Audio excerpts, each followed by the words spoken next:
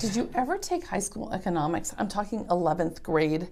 Well, today we're going to be talking about some of those concepts that you were supposed to learn back then, but instead you're learning in February of 2023. How is that relevant?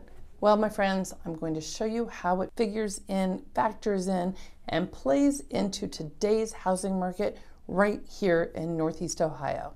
Let's talk about four important economic factors that they tried to teach you in 11th grade. But don't worry, you got me teaching them to you right here and now. One is unemployment, one is GDP, one is inflation, and one is housing market. Let me show you what I mean. One, unemployment. We are looking for unemployment to be 6% or less. That's because at that number, anybody who's looking for a job has one. There might be people in the 6% who are technically unemployed, but those people are also really not looking for a job. Our current unemployment number is 3.5%. So we're in good shape there. Now, let's talk about GDP, gross domestic product. You remember that it's the cumulative of everything in the United States. So your gross domestic product, we want to be 2% or more. And our current GDP, gross domestic product, domestic product is at 2.9%. So we're right on target there. Hi, really great stuff, right? Uh, now our friend inflation. Mm. Inflation, we're looking to be 2% or less. If you've walked into a store lately, you know that groceries are crazy and inflation is really not where it should be.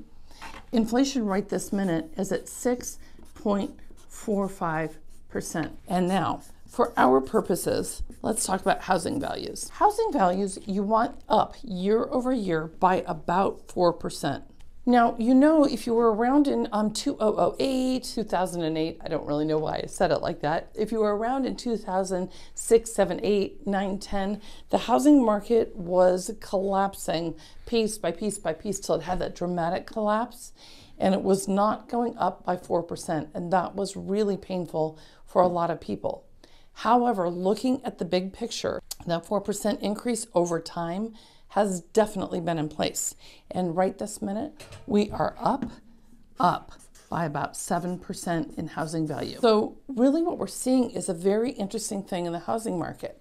Housing market prices are good, unemployment is great, the GDP is good. The only thing that's running rampant right this second, which I know you already know, is inflation, which means that your dollar that you worked hard to earn goes less far in every single context including housing. So that's a little bit hard for some people, meaning you might not be able to buy at that exact level that you had hoped to purchase at, especially as prices are increasing by 7%. So it's kind of an interesting challenge to find a house to get your house priced appropriately for today's buyer and to kind of factor in all the components that make us understand the big picture of housing in February 2023 in Northeast Ohio. So, what I'll tell you is from our vantage point today, there are six single family homes on the market in Beachwood. Don't worry, I'm not going to get into statistics in every single neighborhood, but I am seeing less and less and less inventory. But again, it's February.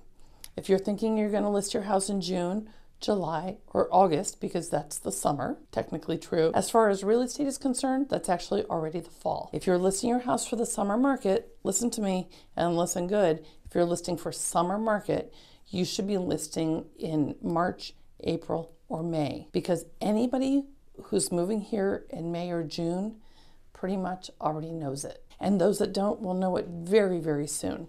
So scurry around, get your stuff cleaned up, depersonalize, declutter, clean, clean, clean, get your house ready. And for my sweet first time home buyers, we love you. We want to help you find the right home in the right location that suits your lifestyle and your needs, taking into account all of the economic conditions and helping you understand that year over year over year, your house will increase in value and the economy or the economics, you might say, of home ownership really will pay out for you. So instead of being nervous, don't worry. I've got you covered with these tips for first time homebuyers.